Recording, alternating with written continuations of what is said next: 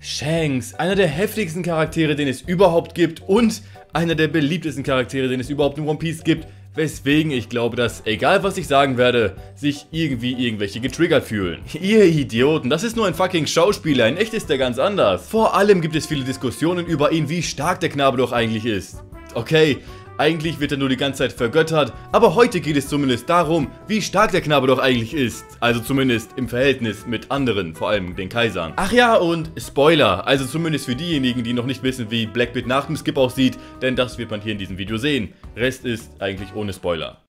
Es ist offiziell, dass Shanks der einzige Kaiser ist, der Bio für Abfall hält und ebenfalls kein Gemüse frisst und deswegen auch keine Teufelsfrucht gegessen hat und somit auch keine Teufelskraft hat. Auch offiziell ist, dass er tatsächlich auch ohne Teufelskraft das höchste Kopfgeld von allen Kaisern hat. Und auch noch offiziell ist, dass ihm seine Narbe verdammt nochmal krass steht. No homo. Zu seinen Fähigkeiten ist allerdings noch gar nicht mal so viel bekannt. Man munkelt, dass er dank seinem überkrassen Königshaki die Zeit anhalten kann, was man bei Pirate Warriors 3 eigentlich auch sogar nutzen konnte. Über sein Schwert ist auch noch nichts bekannt, ob es eines der 12 Drachenschwerter ist oder sonst etwas. Darüber weiß man auch noch gar nichts, aber ich bin mir relativ sicher, dass es eines der 12 Drachenschwerter ist.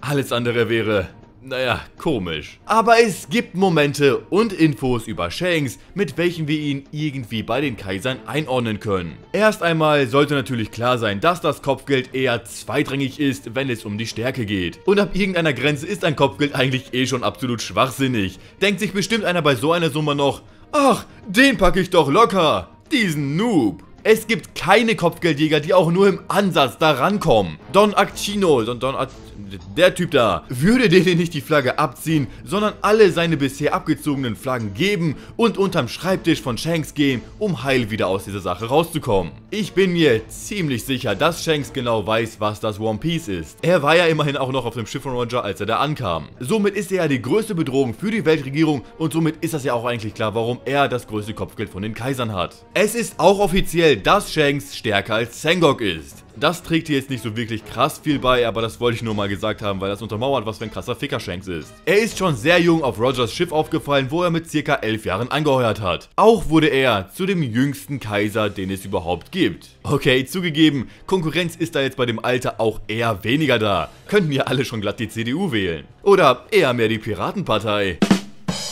Ah, shit, fange ich schon wieder mit so einem Dreck an. Naja, weiter mit Big Mom, denn diese gibt uns eine ziemlich gute Info. Big Mom ist ziemlich machtergriffen, so will auch sie König, Sternchen in, der Piraten werden. Dabei zählt sie locker flockig auf, dass sie Kaido, Shanks und sogar Whitebeard besiegen könnte, wenn Lola einen Riesen geheiratet hätte. Das sogar lässt darauf schließen, dass Whitebeard quasi der Endboss war. Dass Whitebeard der stärkste Pirat und eigentlich auch der größte Ficker war, geht auch aus mehreren Databooks und aus mehreren Hentais hervor. Somit kann man ihn schon mal getrost auf den ersten Platz packen. Äh, aber was ist mit Imshammer?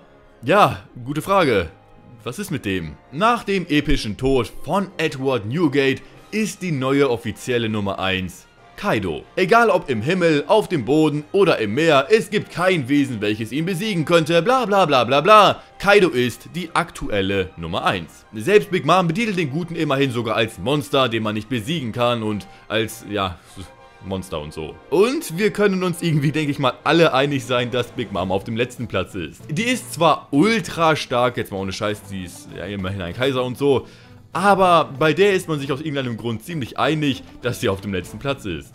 Ja, das liegt wahrscheinlich an der Haarfarbe. Da fehlt jetzt in unserem Ranking eigentlich nur noch der neue Kaiser, Buggy die Nase. Nee, okay, noch ist er kein Kaiser, sondern Blackbeard. Der piratigste Pirat in One Piece mit dem epischsten Ansagen und feigen Aktionen. Doch bei der Narbe, welche er Shanks zugefügt hat, war er nicht feige und Shanks war auch nicht unvorsichtig, zumindest laut Shanks Worten. Man muss bedenken, dass Blackbeard gegen Shanks komplett ohne Teufelsfrucht gekämpft hat. Er hat zu dieser Zeit zwar noch mit seiner Klaue gekämpft und Shanks somit die Narbe zugefügt, aber eine Teufelskraft hatte er nicht. Nun hat er direkt zwei Stück, mindestens, welche auch noch mitunter die stärksten überhaupt sind, was ihn, logischerweise, ein gutes Stück nach vorne gebracht hat. Die Kralle kann er immerhin immer noch aufsetzen, also das ist jetzt auch nicht so das Problem. Erschwerend für Shanks kommt allerdings noch hinzu, dass er seitdem einen Arm verloren hat. Hey, hey, und nicht nur das, sondern ist Blackbeard mal eben auch noch in der Pubertät gekommen und hat somit einen gigantischen Wachstumsschub bekommen. Warum?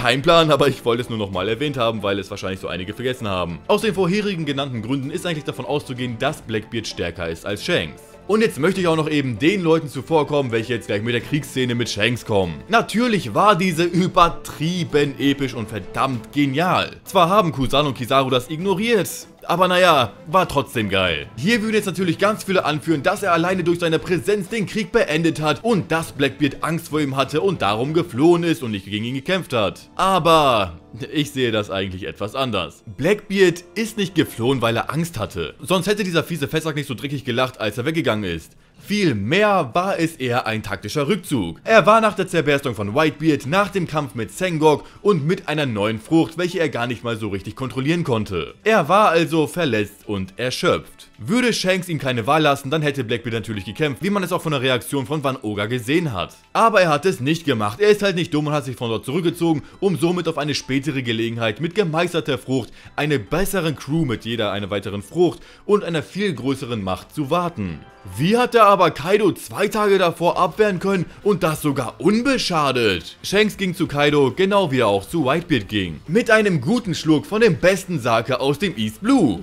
Für den Alkoholiker Kaido war das Angebot eigentlich schon recht verlockend. Wenn wir die Kaiser nun also in eine Reihenfolge setzen möchten, dann wäre es wie folgt. So bei den alten Kaisern, Whitebeard an 1, Kaido an 2, Shanks an 3 und Big Mom an 4. Im Moment mit den jetzigen Kaisern eher so. Kaido an 1, Blackbeard an 2, Shanks an 3 und Big Mom an 4. Hat sich somit eigentlich gar nicht mal so viel geändert. Aber natürlich weiß ich, dass so der ein oder andere eine andere Meinung dazu haben würde und die anders platzieren würde, was natürlich auch vollkommen legitim ist.